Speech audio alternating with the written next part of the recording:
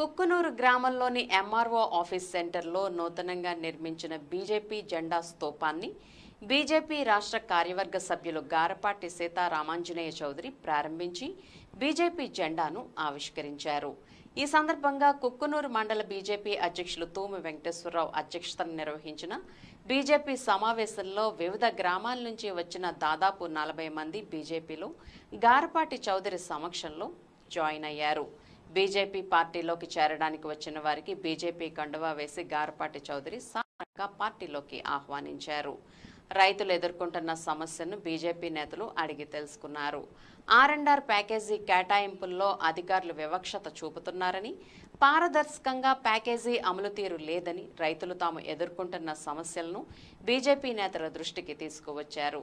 ఈ సందర్భంగా గారపాటి చౌదరి మాట్లాడుతూ ప్రపంచవ్యాప్తంగా భారతదేశానికి ప్రధాని నరేంద్ర మోదీ పాలనలో మంచి గుర్తింపు వచ్చిందని ప్రతి ఒక్కరూ మోదీ నాయకత్వాన్ని బలపరచాలని అన్నారు.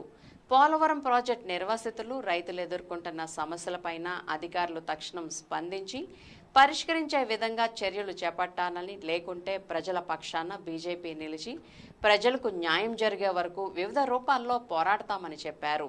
ఈ సమావేశంలో రాష్ట్ర కార్యవర్గ సభ్యురాలు బొరగం వెంకటలక్ష్మి జిల్లా ప్రధాన కార్యదర్శి కరిబండి నాగరాజు ఎస్టీ మోర్చా జిల్లా అధ్యక్షులు కుంజ వెంకట నర్సయ్య మైనార్టీ మోర్చా జిల్లా అధ్యక్షులు షేక్ అమీర్ జీలుగుమిల్లి మండల అధ్యక్షులు ప్రసాద్ తదితరులు పాల్గొన్నారు.